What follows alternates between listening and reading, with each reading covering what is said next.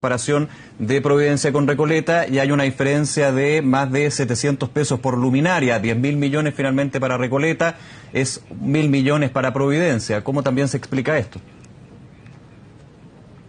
O sea, así de claro, ella compró el reemplazo de las luminarias. Nosotros licitamos el reemplazo y la mantención del parque durante 10 años. Es decir, si una luminaria se quiebra, la tienen que volver a reponer a costo propio. Si una luminaria se quiebra cuatro veces, la tienen que volver a reponer a costo propio. Entonces, si la alcaldesa Matei no entiende la diferencia entre una compra y una compra con mantención a 10 años, yo no sé si es mala intención o es ignorancia supina. ¿Usted cree que hay un tema político, obviamente apuntando a este mensaje, esta información que entrega la eh, alcaldesa de Providencia y desde el punto de vista político, por razones obvias, lo que puede ser eventuales candidaturas presidenciales que usted y ella tengan?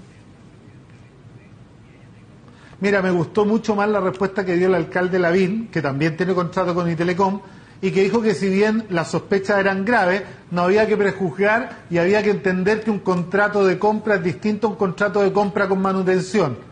¿Ah? Eh, la, su compañera de Providencia, militante del mismo partido, parece que no tiene esa información o no la quiere tener. Ahora, déjeme decirle que eh, si hay algún contenido político, yo le pregunto lo siguiente. Esto es una investigación secreta los diarios de extrema derecha y los medios de extrema derecha que se hicieron eco de este reportaje tendrán que explicarle al país cómo obtienen ¿no? filtraciones de una carpeta que tiene secreto de sumario por seis meses más.